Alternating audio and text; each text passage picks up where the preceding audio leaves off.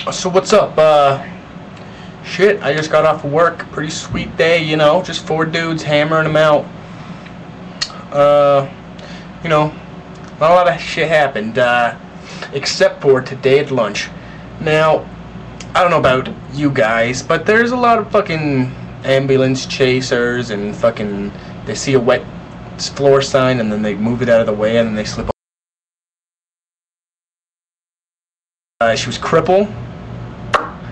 She had like a cane and shit, and she was wobbling when she walked. And uh, she walks into the bathroom, and uh, as soon as she walks into the bathroom, there's some like maybe 400 pound blue moo wearing lady pulls up into the fucking one of like a parking stall in the parking lot and she doesn't get out of her Hoveround chair she just sits there in her electric wheelchair and uh, and she's looking inside of the uh, McDonald's and uh, she's just sitting there and then out of nowhere we hear the fucking craziest cry for help I've ever heard I, I would scream it but like the microphone on my camera is weird. If I scream too loud, it'll like fucking. See, watch. This is what it sounds like. Help!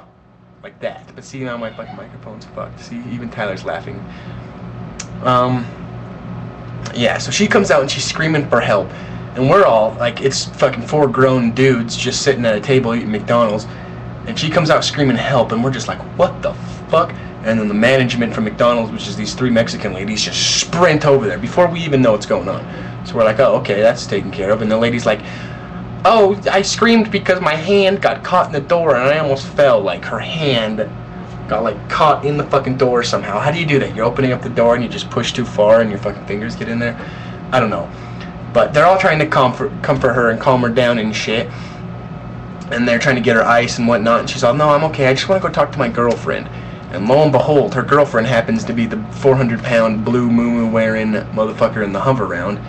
And so she goes talks to them, and then they come back in, and they're like the management, and they're like, yeah, we're gonna need statements from you guys because uh, they're gonna try to sue McDonald's. And I was like, well, shit. That's that's fun. And uh, yeah, it's pretty crazy. Also, we were sitting in the parking lot, and uh, this girl dropped the paper, and she bent over to pick it up, and then the wind blew her skirt up. That was pretty sweet too. Those are the two highlight highlighted moments of my day. Um, yeah.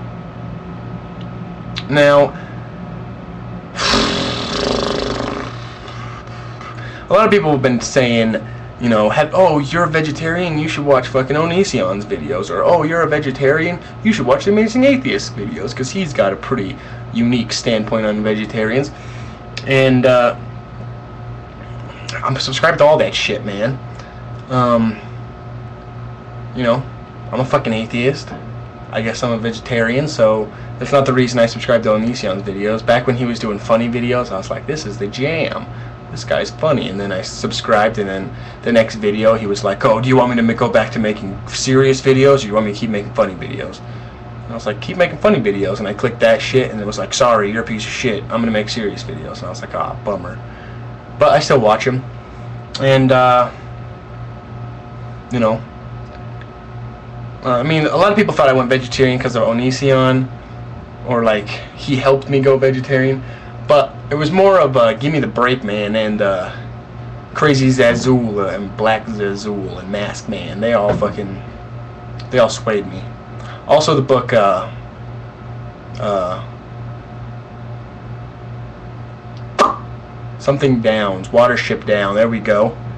Um, yeah. So uh, there that is.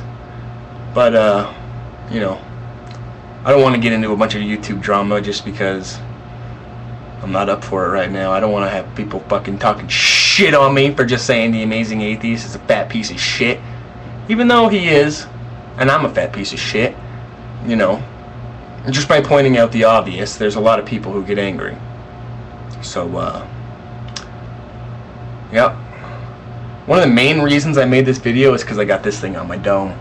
And I was like, fucking A, I need to make a video with that shit on my head. That's why I'm here. And that's why I'm out. I'll catch you on the flip.